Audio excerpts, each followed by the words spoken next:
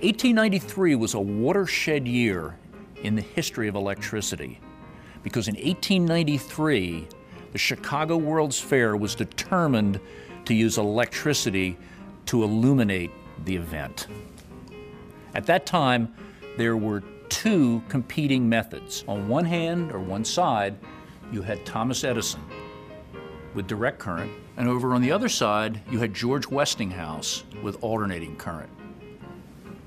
The organizers of the World's Fair allowed both men to bid for the right to electrify the World's Fair. Thomas Edison, feeling that it was a slam dunk for him, bid $10 million. George Westinghouse came in at 2 million. It was a no-brainer at that point for the organizers. They chose Westinghouse and alternating current, and the rest is history. Five years earlier, in 1888, Sydney Evershed invented the cross coils ohmmeter. This was the first step in developing an instrument to accurately measure insulation resistance. In 1889, he patented the world's first insulation resistance tester. From these beginnings, at the dawn of the age of electricity, sprang Megger. In the early 1930s, Megger introduced its first earth or ground resistance tester.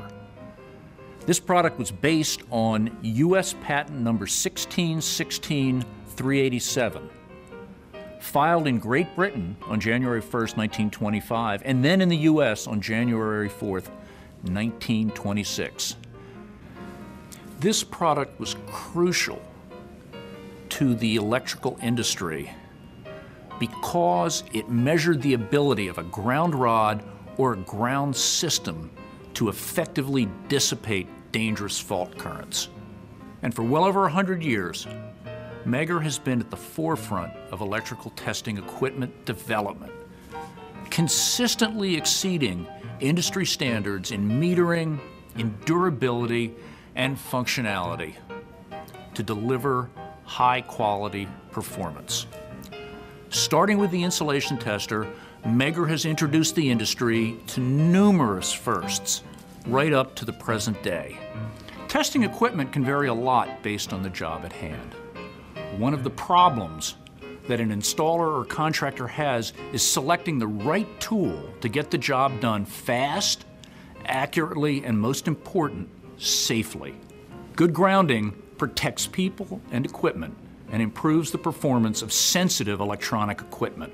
The bonding to the ground rod is also a critical part of the system.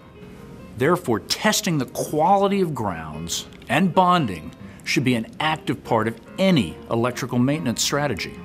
The clamp-on ground or earth resistance tester is an effective and time-saving method when used correctly because the user does not have to disconnect the ground system to make a measurement. Before you choose an instrument, you have to know what kind of test is going to be performed and in what conditions. Not understanding the instrument's capabilities and limitations or the testing environment can lead to erroneous results.